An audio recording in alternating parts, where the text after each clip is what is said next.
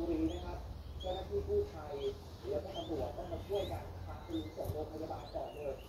ที่เกิดเหตุเนี่ยไปเจอแกลลอนน้ำมันถูกไฟไหม้อยู่ด้วยแถวแถวคันของปลาเก่าก็ถูกไฟไหม้ลุกลามเป็นแนวยาวเลยนอกจากนี้ครับไปเจอมอเตอร์ไซค์ของคนเจ็บจอดอยู่ตรงจุดเกิดเหตุด้วยนะครับ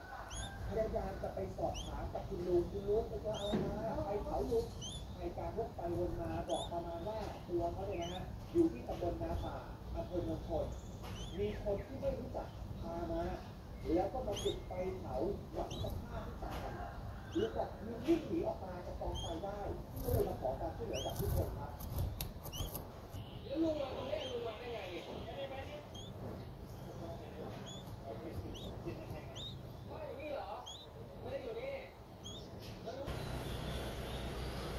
หรือลุงมาที่นี่ที่รอที่ออนไลน์ได้เปล่า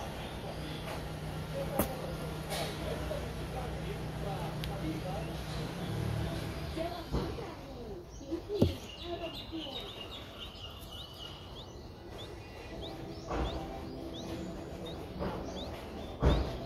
ให้รถออกก่อนเก็บไว้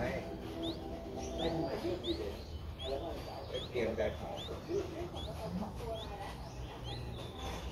แถมหนึ่งเพียง99บาทวันนี้ถึง31ธันวาคม2566 รถเสียหน้าเสียหลัง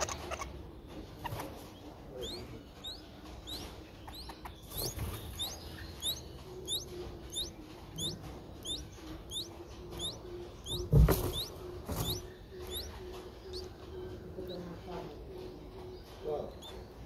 ก็ ไม่อย่างนั้นหรอกครับผมก็รู้จักพักของผมอยู่